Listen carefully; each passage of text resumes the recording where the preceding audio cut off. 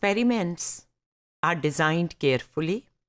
going to talk about ethics in experiments. What is the meaning of ethics? Ethics are morals which are rules to guide our behavior.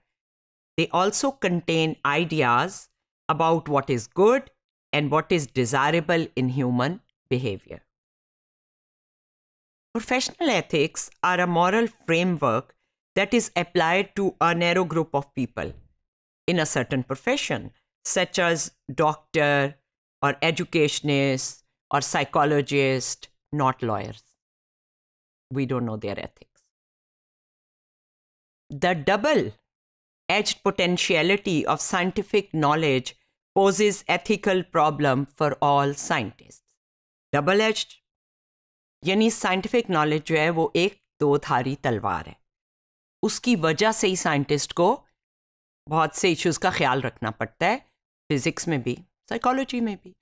आपने एक nuclear चीज़ create की है for power can it be use for destruction आपने psychology में लोगों के behaviour को study किया है, क्या वो मेहरबानी और काइंडनेस और सोसाइटी में कोई पॉजिटिविटी या किसी की इमोशनल वेलफेयर के लिए इस्तेमाल हो सकता है? उसकी प्रोडक्टिविटी और परफॉर्मेंस बेहतर बनाने के लिए इस्तेमाल हो सकता है? या उन्हें कंट्रोल करने के लिए किसी डिक्टेटर के हाथ में भी इस्तेमाल हो सकता है। वो इंटेलिजेंस वाले किसी को टॉर्चर करने के लिए भी इस्तेमाल कर सकते हैं कि लोग ऐसे सोचते हैं। सो डबल एज्ड सोर्ट एक दो धारी तलवार है साइंस साइकोलॉजिकल जो रिसर्च है, वो बहुत इंपॉर्टेंट प्रॉब्लम्स और बहुत पोटेंट मेथड्स यूज़ करती है। पावरफुल है मेथड्स वो इसलिए psychologist must recognise and alert others to the fact the potential for misuse of research increases its potential for constructive application. Misuse भी हो सकती है, लेकिन पोटेंशियल फॉर कंस्ट्रक्टिव एप्लीकेशन भी है। ये जो इकतबास है, ये अमेरिकन साइकोलॉजिकल एसोसिएशन के पेज 16 से लिया गया तो फिर एथिकल प्रिंसिपल्स की ज़रूरत क्यों पेश आती है?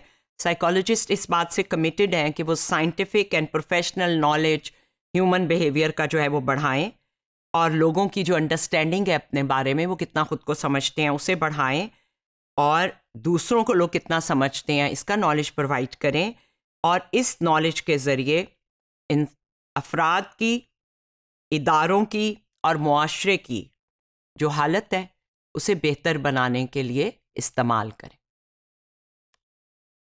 साइकोलॉजिस्ट जो हैं वो प्रोटेक्ट भी करते हैं और रिस्पेक्ट भी करते हैं सिविल एंड ह्यूमन राइट्स को and they give a central importance to the freedom of inquiry and the expression of this freedom of inquiry in research, teaching, and publication. They strive to help the public in developing informed judgments and choices concerning human behavior.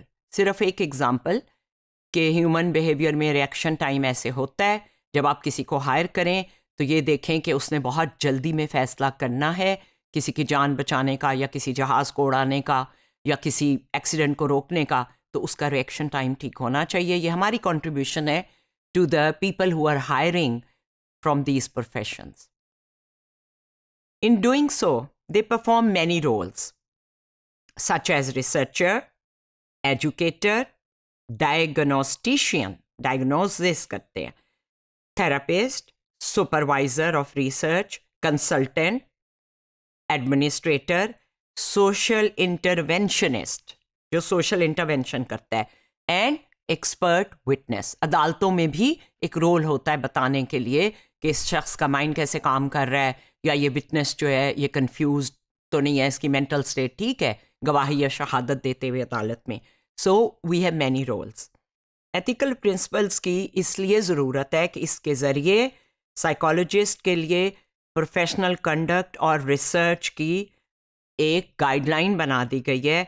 ये American psychological association की guideline जो है, इसको तकरीबन दुनिया में सब इस्तेमाल करते हैं।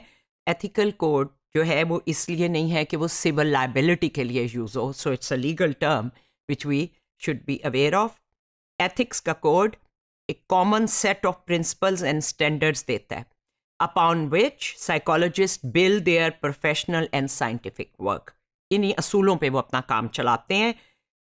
एथिक्स कोड जो है वो स्पेसिफिक स्टैंडर्ड्स भी देता है to cover most of the situations encountered by psychologist जो जो रोल उनके हैं, जो जो सिचुएशन पेश आती हैं as supervisor as teacher as administrator as court witness, as a therapist, as a researcher उन सब में वो उनको एक कोड ऑफ़ कंडक्ट देता है स्पेसिफिकली कि इन इन सिचुएशंस में आपको इन इखलाकी असूलों को मद्देनज़र रखना है।